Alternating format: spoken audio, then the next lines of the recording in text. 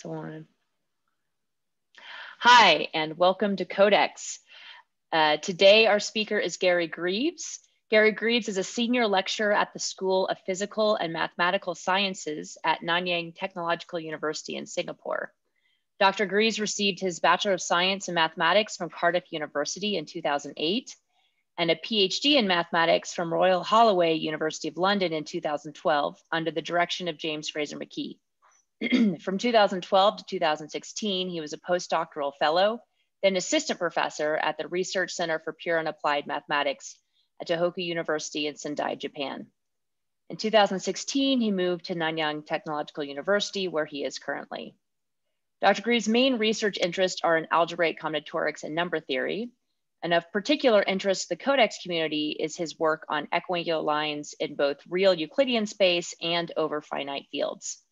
Today, he'll be speaking on real equiangular line systems in low dimensions. Take it away, Gary. Thanks a lot for the introduction. And I just want to thank the organizers for the invitation to speak here. It's my pleasure to talk about my work here. So I want to talk today about the real equiangular line systems in low dimensional Euclidean spaces. So uh, this is a bit of a maybe sideshow um, compared to the mainstream uh, complex equiangular lines.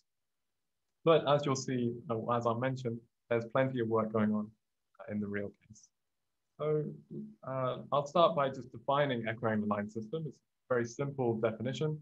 Uh, it's just a set of lines with the origin of r to the d is called equiangular if the angle between any pair of lines is constant.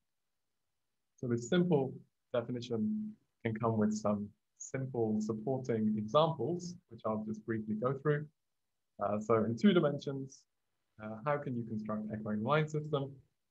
Well, you can take a regular hexagon around origin and join each vertex to its antipode. So that gives you three lines. And then you can go ahead and check uh, what is the angle between any pair of lines. So I can check the angle here, uh, check the angle here between these two, and then check this angle. I see that all the same. And so this is an equiangular line system. And after you see this construction in two dimensions, you might try to push it a bit further by looking at um, more polygons and see what you can get. So if you do that, you'll end up with a non-example. Uh, so here I take a regular octagon and I draw, join each vertex again to its antipode. This time I get four lines and then I check the angles. So I check the angle between these two lines. I see, I see I get 45 degrees. I look here, again, I get 45 degrees. Seems okay so far, but then I check this angle and I don't get 45 degrees. And then I see I have at least two angles, and so therefore this is not an equiangular line system. Okay, and then if we go to three dimensions, we have similar constructions where we can take a regular icosahedron, join each vertex to its antipode. This gives us six equiangular lines in three dimensions. Okay, so that was the definition and a few supporting examples. Now, what is the main problem we're interested in? So the problem is here, we want to find the largest possible size of an equiangular line system in R to D. And the setup is you give me some dimension D, and I want to know what is this n of D? What is this largest possible size of an equiangular line system living in D dimensions? And this problem dates all the way back to the 1940s, where two dimensions, three dimensions, and four dimensions were known. So we know the answer all the way up to four dimensions back in the 1940s. And there was some progress in the 1960s where we, we worked out uh, five dimensions, six dimensions, and we got a pretty decent lower bound on seven dimensions. And then the real breakthroughs started to happen in the 70s, where the linear algebraic method really took off. And then we knew the answer all the way up to dimension 13. Uh, we skip 14. 14 is not, not figured out at this point. Uh, 15, we know. And then there's a bit of a gap. So 16 up to 20 are not yet figured out. But dimensions 21, 22, and 23 are all decided. So this is back in the 70s. But now, even more recently, so just going back five years, there's been a whole bunch of uh, work on this problem and its variations. Uh, so I tried to group together um, different general approaches to this problem. So at the top, again, this is in the last five years, we have improvements to upper bounds using uh, semi-definite program techniques. Uh, then this second batch, we have the celebrated work of working out the asymptotics for a variation where we fix the angle. Then I mentioned these two, since it involves stuff I'm going to talk about in this talk. So here we see some improvements for lower bounds in 18 dimensions. And then in this block, we have improvements to upper bounds in lower dimensions. So here I'm focusing on 18 because I'll mention it in the talk. And the upper bounds are uh, actually for all of the unknown dimensions between 14 and 20. And then uh, because there's so much recent work, I couldn't continue to group it together in a nice way. And so I just put um, these contributions down as miscellaneous where we have uh, extra work on enumerating Seidel matrices, work on the Lemmens-Seidel conjecture, and work on equality in the absolute bound. Okay, so there's lots of recent work. And here I'm mentioning the state of the art. And so this is a bit of a summary of some of the contributions we've seen. And this is a table where we list n of d for dimensions d going from 2 all the way up to 41. And so you see that these black numbers are where we know what n of d should be. So we know it for dimensions 2 all the way up to 17 now. And then there's these conspicuous three values of d where the upper bounds and lower bounds are still not equal. And then from 21 up to 41, we again know this value of n of d.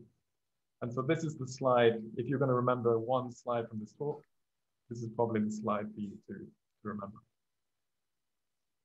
All right, so now I can talk about the plan of my talk. And this is the first, well, there's two parts. And the part one is going to be talking about constructions of equiangular lines, and in particular, our new improvement to lower bound in 18 dimensions. And the second part I want to tell you about uh, how we uh, figured out the answer for 14, 16, and 17 dimensions. Okay, so part one, we are looking at constructions of equiangular lines. And this is joint work with Jeven Syatriadi and Pavlo Yatsyna. So in this part, we're going to look at some constructions and a highlight will be this new lower bound 18 dimensions. Okay, so before we get on to that, I just need to do a bit of groundwork and introduce the Seidel matrix. And so this is the main tool that we use to study equiangular line systems. And so we start off with some equiangular lines L1 up to Ln. These are equiangular lines. And we, we assume the angle alpha is positive. And so this angle, okay, really the angle is arccosine of alpha, but you know, if you change units, uh, you can just turn it into some positive alpha is our angle. And this is convenient because uh, if we take unit spanning vectors of our lines, so we'll take our VI to span the line Li, then the inner product between any pair distinct spanning vectors will be plus or minus this alpha. Then we can work out the Gram matrix, the matrix of inner products, and it will look a bit like this. One's on the diagonal, we have unit vectors, plus or minus half in the off diagonal because definition of equiangular line system. And the Gram matrix looks quite nice, but we can make it look a bit nicer by just minusing off the diagonal ones, minus identity, and then we hide away this alpha. We divide by alpha, and all the off diagonals are now plus or minus one. And we can reverse this process. So if you, if you have a line system, you can get a Seidel matrix. This is zero plus or minus one symmetric matrix. And in the other direction, if you have a Seidel matrix, you can obtain equiangle line system. And the information about the equiangle line system in the Seidel matrix is stored inside the smallest eigenvalue. Is where the details are hidden. And so to see that, if we start off with our unit spanning vectors, and we assume that they, they together span the whole of R to D, we can construct this matrix B by putting our unit spanning vectors, column vectors. This matrix B will have rank D, and then the Gram matrix is just B transpose times B. And since the rank of this is D, the smallest eigenvalue will have will, be equal to zero and have multiplicity n minus d. Uh, that's just because this is a positive semi-definite. And then when you go to the Seidel matrix, this zero eigenvalue gets mapped over to one minus one over alpha. So the moral of the story is you have a Seidel matrix, you want to know how many lines you have, what's the dimension, and what's the angle, you just look at the smallest eigenvalue. So the smallest eigenvalue itself gives you alpha, the angle, and then the multiplicity gives you n and d. Okay, so that's just to introduce the Seidel matrix, which we're going to repeatedly refer to throughout this talk. So now on to constructions. I want to start off with the absolute bound. And so the absolute bound is an upper bound on n of d, also known as the Gerzon bound. And this says that in d dimensions, the best you can possibly do is d times d plus 1 over 2 equiangle lines in that dimension. And here you can achieve equality when d is 2, 3, 7, 23. But this is widely believed to be a complete list. And there's been some recent work on uh, partial classifications. Uh, so now what's happening with these four dimensions? Well, we've already seen two instances where the absolute bound can be achieved. We have equality in the absolute bound, and that's for two dimensions and three dimensions. So the two constructions I started with, uh, the first one gives you three lines in dimension two, second gives you six lines in dimension three, and this is precisely equality in the absolute bound. Now we move on to seven. So in dimension seven, we can get 28 equiangle lines, and the construction is very simple. You can just take this vector with six ones and two minus threes, consider all the permutations, and they will span 28 equiangle lines. And so that again gives you equality in the absolute bound. And then the, the main one I want to focus on is this configuration of 276 equiangle lines in 23 dimensions. And this can be constructed in a few different ways, but they largely boil down to the existence of the Witt design. And so you can obtain this by taking the 253 blocks of this Witt design together with 23 points that the block design, the block design um, contains. And the construction is, is, I can't sum it up in one sentence, but it's relatively straightforward uh, construction. So this 27, this 276 equiangle lines is really, really um, really interesting construction. And because of its existence, it leads to the existence of other large constructions in smaller dimensions. So we can look inside the Witt design and find many wonderful things. Uh, so we can start off with 276 equiangle lines in 23 dimensions directly from the, the Witt design. Then we can take the Seidel matrix of that equiangle line system, then find a principal submatrix of size 176, and that would correspond to um, 176 equiangle lines in 22 dimensions. And then we can repeat this. So we start off with the 176 by 176 Seidel matrix, look for a principal submatrix of size 126, and if we choose the right one, we'll get 126 equiangle lines in 1921. And you can keep doing this. This is like a cascade This cascade all the way down, start off with 276. You can get this construction in dimension 22, this construction in dimension 21, and all the way down to uh, dimension 17.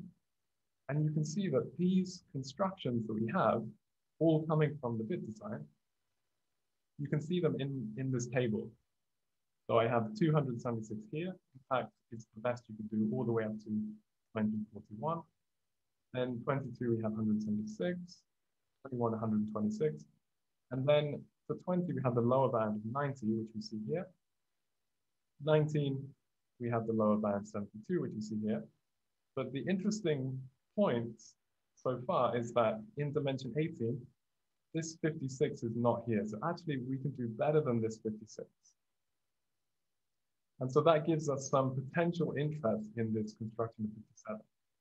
So although we don't know for certain yet uh, this 57, the Seidel matrix corresponding to the 57 construction comes from uh, principal submatrix of the Seidel matrix of the 276 equiangular lines in dimension 23.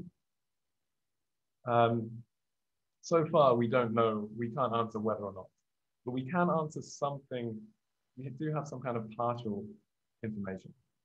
And so that's relating to this construction of 72 lines in dimension 19.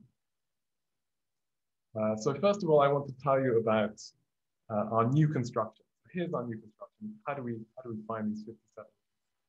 So what we do is we look for integer vectors that have squared length 10 then we want to form a subset of all these integer vectors such that every pair of vectors has inner product plus or minus two. That's, that's the idea.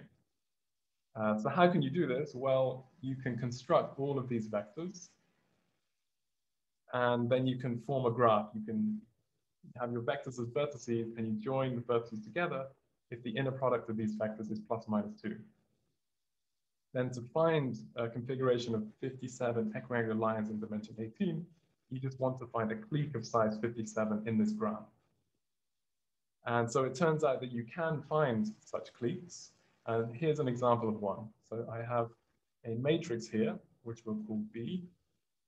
And the vectors, oh, sorry, the, the columns of this matrix are these integer vectors with squared length 10 and if you take any pair of these 57 vectors, you'll find that the inner product between any pair is plus or minus two.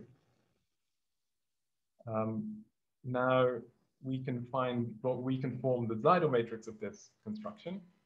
So this will give us the Seidel matrix.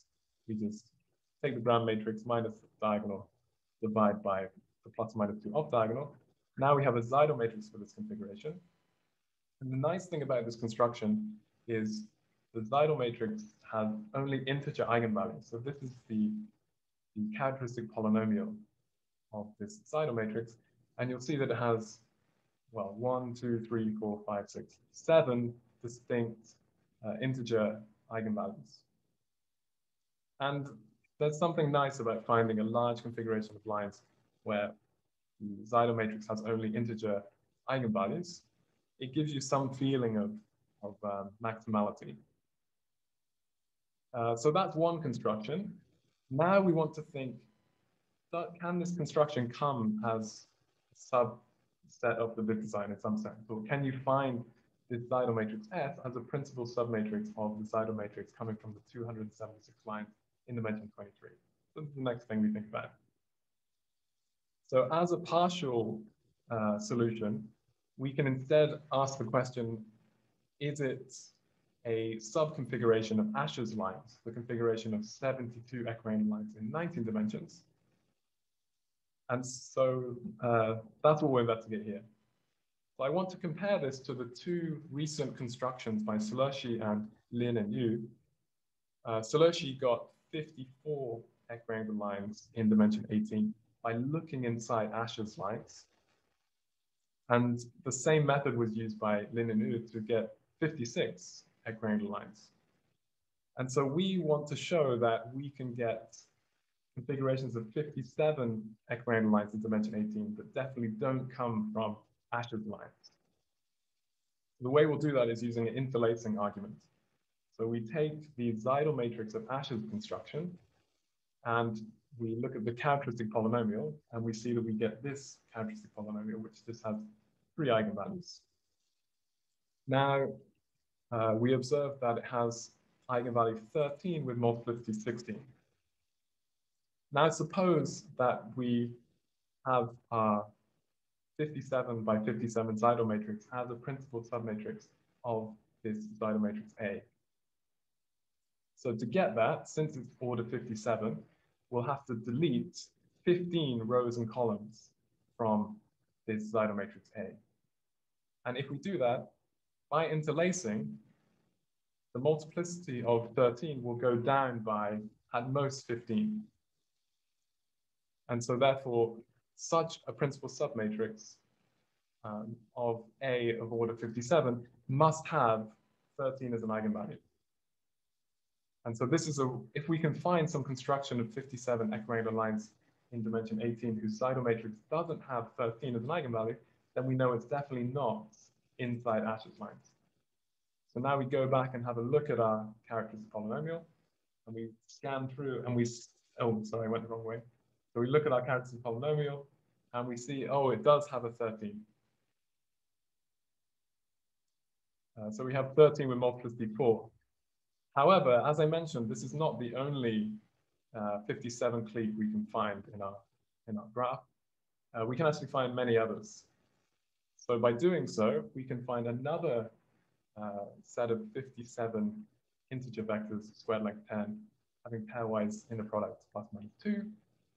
And this time, if we form the Seidel matrix, we get this characteristic polynomial. And notice here, there's no 13. And so therefore, this construction is definitely not inside Asche's, Asche's lines. Okay, and another thing to note is that the number of distinct eigenvalues here is seven. So one, two, three, four, five, six, seven. And our other construction also has seven distinct eigenvalues. So we found quite a few different constructions and they all have at least seven distinct eigenvalues. So we don't know whether you can do better than uh, if you can find one with fewer than seven or what the significance is of that. Okay, so that's all I wanted to say about part one, about the constructions. So now I'm going to move on to part two, where I want to tell you about our recent improvements to the upper bound in dimension 14, 16, and 17. And this is again joint work with the same Jeven Syatriadi and Pavlo Yatsyna. Okay, so now we want to find upper bounds. We've already seen some lower bounds. In the table, um, we saw that, well, we saw that you can get 28 lines using that vector with ones and minus threes. Um, you can get 48 lines inside the Witt design. And okay, this 40 comes from some strongly regular graph. So since we have the lower bounds, all we need to do is show that you can't do better than these. So I just need to show you can't get 29 lines in dimension 14. You can't get uh, 41 lines in dimension 16 and 49 in dimension 17. So this is our starting point. So I want to tell you about how we start off this, this, um, this upper bound finding parts. Okay, so we start off by assuming there does exist a Seidel matrix S that corresponds to 29 lines in dimension 14 or there does exist a Seidel matrix corresponding to 41 lines in dimension 16, and so on. So we're actually imagining there exists these three Seidel matrices corresponding to 29, 41, 49 equiangular lines in dimension 14, 16, and 17, respectively. So our starting point is to, um, as, well, we're starting by deducing some partial structure of the characteristic polynomials. So I'm not going to go into detail about this. I'm just going to say using uh, some classification from Lemmens and Seidel, uh, some integrality result of Neumann, and using the Welch bound, we know that the smallest eigenvalue of each characteristic polynomial must be minus five, and we know the multiplicity. And we can do a bit better by figuring out that there's some other integer eigenvalue with some relatively large multiplicity. And so to do this, we're using this intuitive idea that the closer you are to the Welch bound, the more geometric forces the eigenvalues are uh, feeling. So that's a kind of intuitive explanation. But to give you an extreme example, if you have equality in the Welch bound, then you know what the eigenvalues are. It's going to have two distinct eigenvalues. You know what they are in terms of uh, the parameters. And you, you can kind of generalize that a bit. So if you go a bit further out, but you're relatively close to the Welch bound, you might not be able to write down the whole spectrum, but you can write down partial information. And so this is the general idea that we're using to, to deduce that we have these extra um, eigenvalues here. Gary, do we know that these are the extreme eigenvalues? Uh, in what sense are you saying extreme? do all other eigenvalues for the first guy reside between minus five and five? Oh no, that's that's not not the case. So, but in, there is something interesting you can say. There's some kind of radius around the eigenvalue five, where all of these the roots of this polynomial will lie. And again, it's related to the distance, the proximity to the bound. Awesome, thank you. So, um, so this is my starting point. So I don't want to go into the precise details. And I'm just going to write this extra factor of unknown eigenvalues. So this is a polynomial whose roots are the unknown eigenvalues that we, we can't quite deduce at this point. Uh, so step one is to figure out all the possibilities for these characteristic polynomials. I want to figure out if there is a Seidel matrix uh, with 29 lines in dimension 14, what are the options for my characteristic polynomial? Uh, so the first thing to observe is that since S is a real symmetric matrix, all of the roots of this polynomial are going to be real. So this is a totally real polynomial.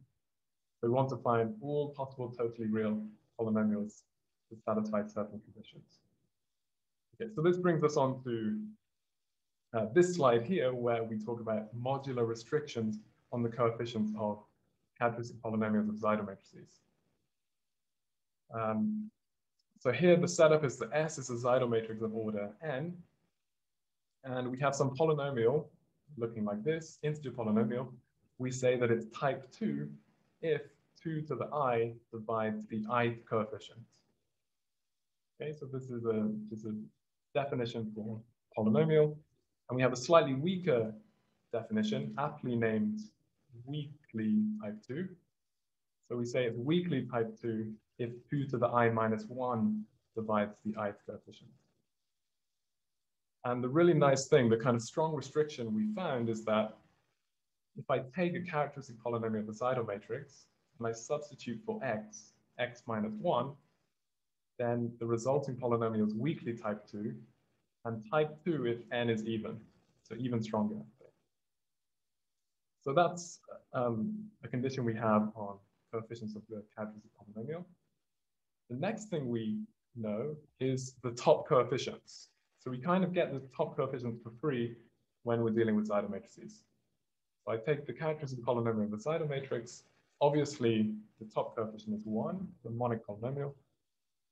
Now the first coefficient should be zero because all of the diagonal entries of a Seidel matrix are equal to zero. So therefore the trace is zero, and therefore the first coefficient should be zero. And we can do one better by looking at s squared. So if I take s squared, all of the diagonal entries are going to be n minus 1. So the trace of s squared will be n times n minus 1. And then using Newton's identities, we can get the second coefficient should be minus n choose 2. So we know we always get the top coefficients for free.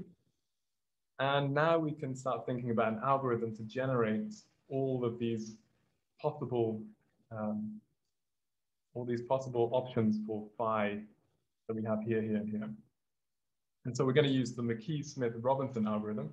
This is an algorithm that was init initially due to Robinson, I think in the 1940s, and then has been developed by McKee and Smith with some kind of speed boosts and refinements. And this algorithm can generate all totally real integer polynomials whose top coefficients are fixed. So the headline is we can generate all of the candidate characters polynomials by applying the McKee-Smyth-Robinson algorithm with some kind of weakly type 2 filter on the coefficients. Uh, there's a small complication that I'm hiding away. So this is actually a subset rather than exactly what we get, but it's a slight complication that we don't fully understand yet, but uh, I just want to kind of hide those details under the rug. So to generate all the candidate characteristic polynomials, we run this algorithm, and I want to give you an example of how, how it works. So suppose we want to find all totally real type 2 polynomials of this form, where the top three coefficients are fixed. We have top coefficients 1, minus 18, and 112, and then we don't know A3 and A4. But we want this to be totally real and type 2. And so I want to give you an illustration of how this algorithm is going to work. So we take our starting polynomial, then we repeatedly differentiate it until we just have one unknown coefficient. So if we do that in this case, we just differentiate one uh, once, differentiate once, and we get this polynomial. Now, since the, the roots of the derivative interlace with the roots of the original polynomial, we know that this polynomial must also be totally real. And so now we can we can figure out range of values for A3 by, well, we can either look at this graph or work out the local maxima and minima. So I've drawn a picture here of this cubic. So it's just 4x cubed minus 54x squared plus 224x. It looks like this. So you, you see that this is definitely not totally real. To make it totally real, we need to shift it down so that the x-axis is going through this point here. Going between these two uh, local extrema. And so working these out gives us the bound. So I see this is going to be 264. This one is going to be 294.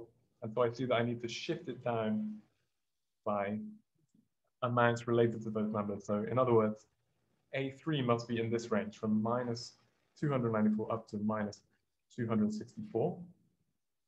So that gives us a range of values that guarantees this derivative is totally real.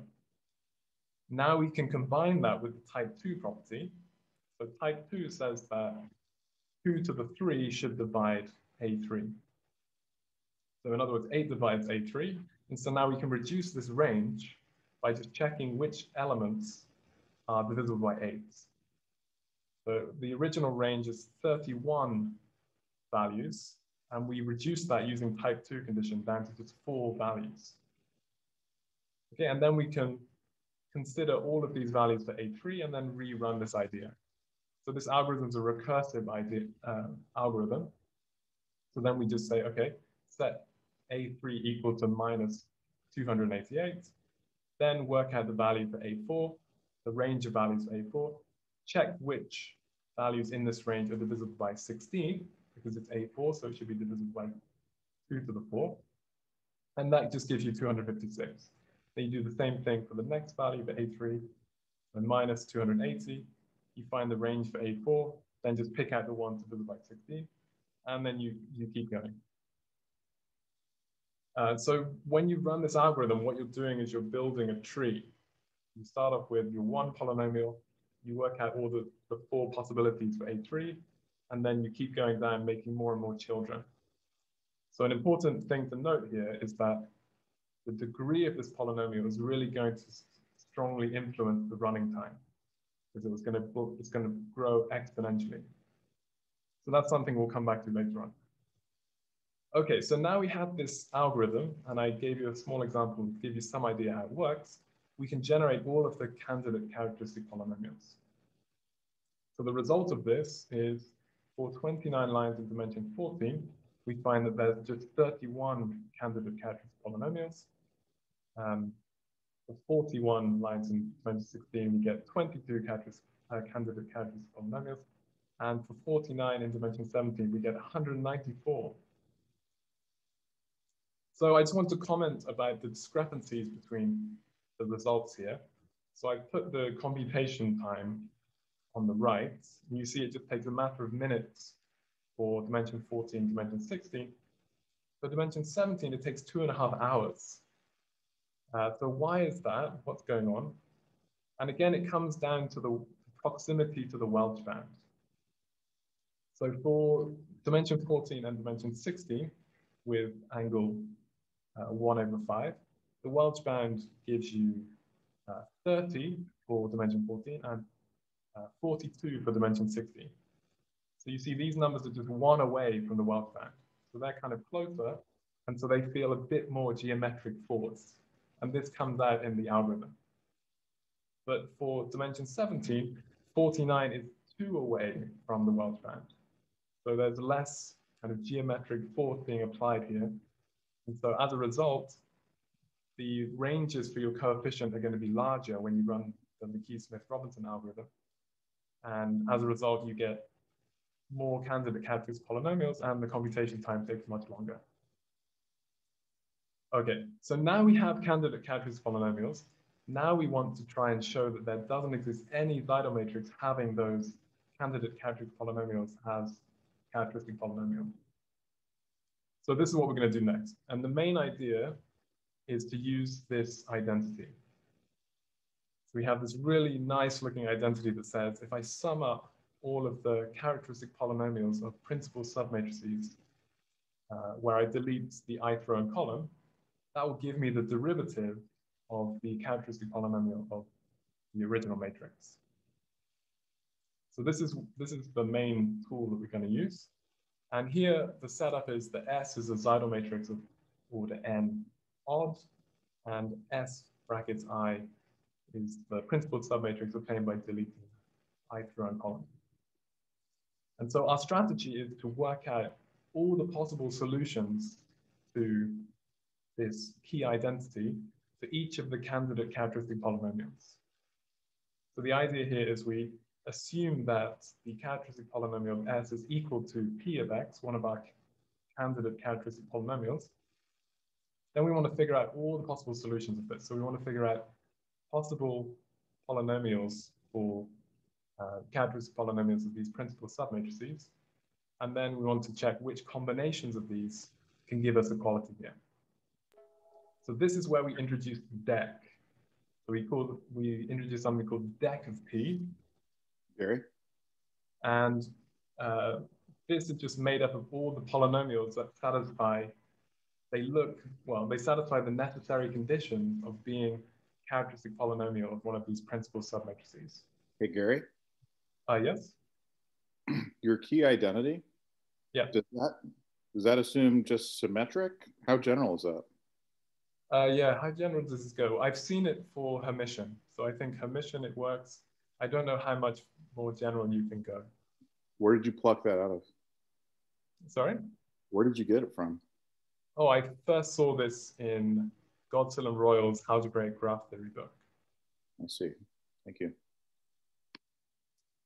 Okay, so I'm talking about the deck, and the deck consists of all of these, uh, all polynomials that look at, that they satisfy necessary conditions for these uh, characteristic polynomials of principal submatrices. So what does that look like? Well, they're going to be integer polynomials. They are characteristic polynomials of Seidel matrices. So we get the first three coefficients. So monic, zero trace, and then this n minus one, choose two coefficient. We also have interlacing. So these polynomials should interlace P, which is acting like this um, characteristic polynomial of S. And we also get that if we plug in x minus 1 for x, the resulting polynomial of type 2. And this is because we assumed n is odd here. So n is odd, so n minus 1 is even. And so we don't just get weakly type 2, we get type 2. And so now, once we form the deck, we want to look for all the solutions to this key identity, which I just rewrite in this form here. So I just kind of translate the key identity in deck form. So I want to find coefficients n sub f for each polynomial in my deck. I'm sorry, such that this sum gives me the derivative of my candidate characteristic polynomial p of x. And I call such solutions interlacing configurations. Okay, so to get a bit more understanding of this, we can look at an example. So here I start off with my candidate characteristic polynomial p of x, which is this degree seven thing. So this is my candidate characteristic polynomial, and I want to find all interlacing configurations for this candidate characteristic polynomial. And so I first form the deck. So this is the deck of P, consists of these four polynomials. And we can construct the deck a bit like we were constructing our candidate characteristic polynomials. We can run the McKee-Smyth-Robinson algorithm with a type 2 filter on the coefficients.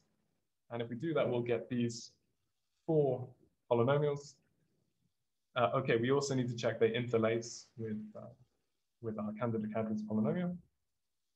So we get these four polynomials, and now we want to look for solutions to this identity 2 and so we can enumerate all the solutions. We just solve some linear system with constraints. And we find that this is the only interlacing configuration. So we have 3 times f1 plus 2 times f2 plus 2 times f4 give you the derivative. Now, in general, there may be no solution. There may be no interlacing configurations, or there might be many interlacing configurations. However, if there's no interlacing configurations, then there's no way this can correspond to an actual Seidel matrix. So in this case, this polynomial P of x does correspond to a Seidel matrix. So here's the Seidel matrix, the 7 by 7 Seidel matrix, and the characteristic polynomial is equal to P of x.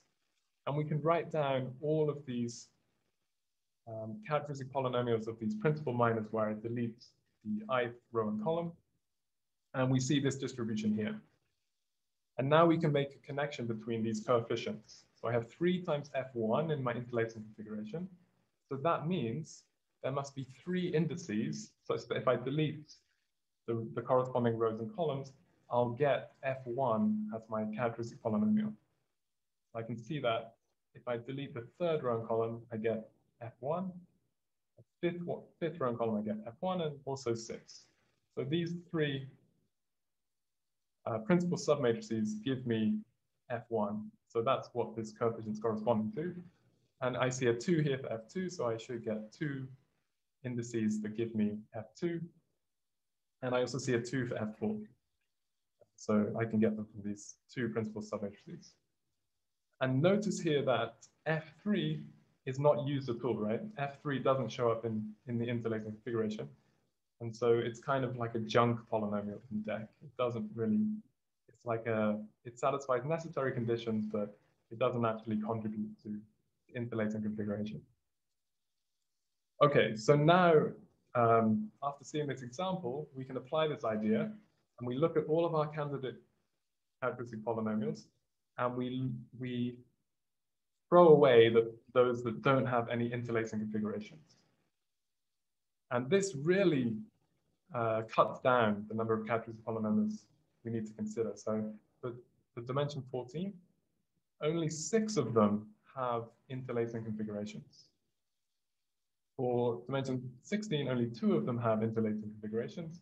And dimension 17, only 28 out of the 194 have interlacing configurations.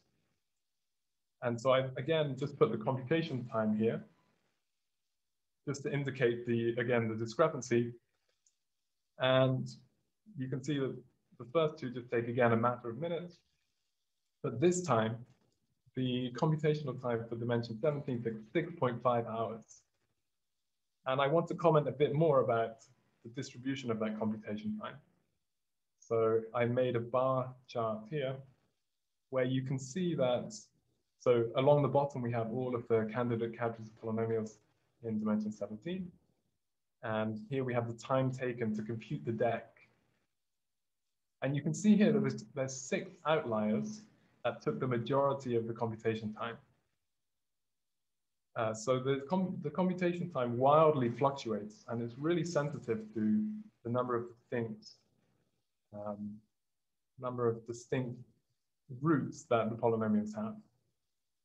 And so a comment here is it would be nice to have some maybe some more efficient alternative method to deal with these outliers. So you can kind of flatten the overall distribution of the computation time. Just a quick question. Are these expenses one the ones that give solutions or not, or is it unrelated? Oh, all of these don't have interlacing configurations. So this is looking at, I'm saying that 28 out of the 194 don't have interlacing configurations. And we can check that by, well, actually we solved the dual linear system. So we used Farkas lemma to show that if you have a solution, these 166 are the non-solution, okay? Those that are killed. Yeah, so but we only focus on the ones we ones, Sorry? For the positive cases, what's the timing there? Um, I haven't got a, an overview for that. I kind of treat them uh, case by case. Okay.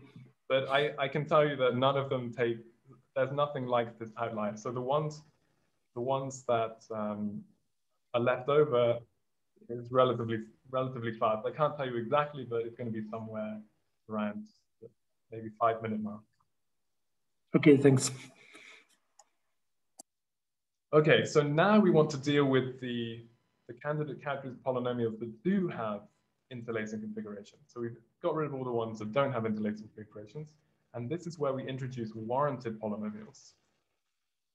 Uh, so what is a warranted polynomial? So this is a polynomial inside our deck. So I've just reminded you here, what is the deck? And a warranted polynomial is a polynomial in the deck whose coefficient is always positive for any interlacing configuration. So it's like a guaranteed uh, principal, a characteristic polynomial of a principal submatrix. So no matter what your interlacing configuration is, if you have a warranted polynomial, it's guaranteed that the warranted polynomial is uh, contributing. And so warranted polynomials are really, really useful because uh, if you have a warranted polynomial, what you can do is reduce the deck just to those polynomials that are compatible with warranted polynomials. So it's this is a notion of compatibility that I plan to tell you about in a couple of slides. But first, I want to show you the application of warranted polynomials together with compatibility. And so to show that a, a polynomial in the deck is warranted, what you can do is take that polynomial outside of the deck and then try to find an interlacing configuration. If you find there's no interlacing configuration, then you know that that polynomial must be warranted. So there's no solution without a warranted polynomial. Okay, so this is just to motivate this, this next notion of compatibility, which I haven't told you about yet, but you should have some intuitive idea that once we find a warranted polynomial, we can, we can reduce to only those in the deck that are compatible with the warranted polynomial. And so the, the result of doing this is the following. So we can further reduce the candidate characteristic polynomials in the following way. So the first way we do it is we find there are two warranted polynomials, but they're not compatible with each other. So if they're not compatible with each other, then there's no way there could be a Seidel matrix corresponding to uh, that candidate characteristic polynomial. So this happens for three out of the six remaining polynomials for dimension 14. It actually eliminates all of the remaining uh, candidate characteristic polynomials for dimension 16, and uh, it eliminates 11 out of the 28 for dimension 17. And we can apply it in a slightly more general way. So again, this is applying warranty and compatibility. So what we do here is we find a warranted polynomial, then we restrict to the subset of the deck that's compatible with that warranted polynomial. And we find that there's no interlacing configuration on that subset. So this method eliminates one of the remaining three candidate characteristic polynomials for dimension 14 and eight out of the 17 remaining candidate characteristic polynomials for dimension 17. So I've told you about how warranty and compatibility can be used together to, to eliminate some more candidate characteristic polynomials. And so now I want to tell you what exactly is this compatibility relation. And at this point, I just want to ask the organizers, uh, how much time uh, am I allowed to continue speaking? I'd say another five minutes since we started a few minutes late. Okay, thank you. Uh, so I'll go um, a bit fast through the compatibility. So the setup for compatibility is we take M to be an integer symmetric matrix of order n. Uh, sigma M is a set of simple eigenvalues. And then Q of X is the polynomial whose roots are all the non-simple eigenvalues. So this just has roots. Here I'm dividing the minimal polynomial by the polynomial whose roots are simple eigenvalues. And so I get uh, a polynomial whose roots are all non-simple eigenvalues. And I denote u sub lambda to be the, uh, a unit lambda eigenvalue. Then the spectral decomposition theorem tells us that if I, if I um, plug m into q, I can write it as the sum over the simple eigenvalues q of the simple eigenvalue lambda multiplied by the outer product of unit lambda eigenvector with itself. Now we make a couple of observations about this. So firstly, M is an integer matrix, Q is an integer polynomial, and so therefore this is an integer matrix on the left-hand side. And the next, uh, the next tool we use is that the i entry of u sub lambda is determined by this polynomial. So the characteristic polynomial of the principal submatrix obtained by deleting the ith row column. So this is special for simple eigenvalues. So since lambda is simple, I can determine the ith entry by this polynomial. And so this is going to give us our compatibility condition for the deck. And so it really depends on how exactly we represent the ith entry of this vector u. Uh, so we do that by um, defining this angle for polynomial. So we take a polynomial inside the deck, and since it interlaces this polynomial, uh, we can factorize it in this way here. So I can factorize it as the characteristic polynomial of m divided by minimal polynomial of m multiplied by some polynomial f, plane f. So I can use this plane f to define the angle of the, the math frac f with respect to lambda as the square root of f of lambda divided by derivative of the minimal polynomial evaluated at lambda. Okay, so this is just a, a standard definition, and it just so happens to be your angle It has nothing to do with the angle of the equiangular line system. And so the really nice thing is that for simple eigenvalues, we can write the ith entry of um, a unit eigenvector for for lambda in terms of this angle, uh, uh, plus or minus this, this angle. And this is really, really useful because I can write this in terms of this polynomial. And so the condition we saw on this previous slide is that the ij entry of this integer matrix is given by this expression here. So this is an expression for characteristic polynomials of principal submatrices. And so I can I can turn that into a condition for polynomials in the deck. So these polynomials in my deck, they should act like these polynomials. And so I just impose this condition. So this, there should be some plus or minus one vector where this sum is an integer. So this is our notion of compatibility. I'm going to skip the next slide, which is about uh, some really cool computational speed up and I'll jump to the remaining candidate characters of polynomials. So after we did all of that elimination of candidate characters of polynomials, we ended up with just two left for dimension 14 and um, nine left for dimension 17. And these are a bit tricky to eliminate. So there's not really a general method I can tell you. Um, there are some general techniques where we use eigenspace orthogonality, uh, we use the existence of some Euler graph in the switching class. And there's also a nice, a nice result um, by Willem Haemers and his co-authors that shows the non-existence of some strongly regular graph. And this top surviving candidate characteristic polynomial, if this exists, that implies the existence of some strongly regular graphs that's been shown to not exist. Uh, and so that's the general overview. So I, so I can't go into the details and I'm also out of time. So I'll, I'll end with my summary slide, which is again showing you uh, this table and the things that we went over were dimension 14, 16, 17, and the first part we saw this new lower bound for dimension 18. So I'll stop there. Thank you a lot for your attention. And now I'll take questions. Thank you very much.